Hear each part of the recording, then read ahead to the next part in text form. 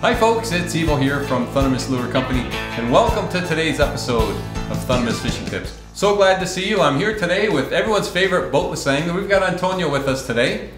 And uh, we just finished cleaning a trout and uh, which had some nice uh, trout eggs in there. And we get people writing us all the time. How do you cure your trout or salmon eggs so that you can use them down the road to tie your own roe bags and, and use them as a bait for fishing? Right.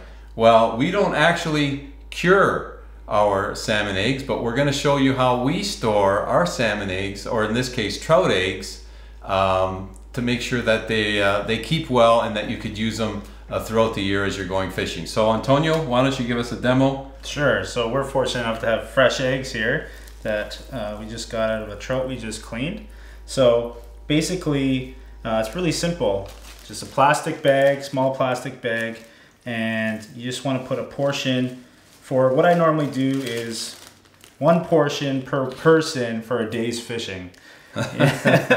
Because you know that'll be for one person for one day typically. It's going to make around 10 roe bags for a trout or if you're making bigger roe bags it's going to make about five uh, if you have more people coming, you bring more bags. Okay. Um, so yeah, that's as, as simple as that. Uh, when you close the bag, you want to take as much air out as possible. Now, if you had a food saver, you could vacuum seal these. You could, yeah. And uh, these ones are trout eggs. They're stuck to a, a skein to the skin. Yeah. Uh, sometimes you get salmon eggs that are very loose, mm -hmm. but you do the same thing. Just scoop out the loose ones and put them in put them in a little uh, sandwich bag. So you can see I'm rolling it just to get the air out. So what you're left with is an airtight amount of one day's fishing of roe. So what I typically do is roll it up just like that.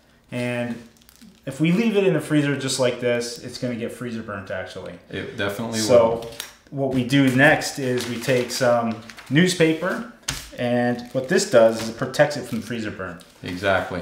So once it's in the bag and rolled airtight, you just do similar. You roll it into, uh, you know, one sheet or two sheets of newspaper, roll it up like this. What I like to do is get a piece of tape. Doesn't have to be masking tape. Tape it up. Put the date on it actually, because this is gonna tell you, um, it could be last year's that you're using. You wanna use the fresher stuff first. So it's March 2017.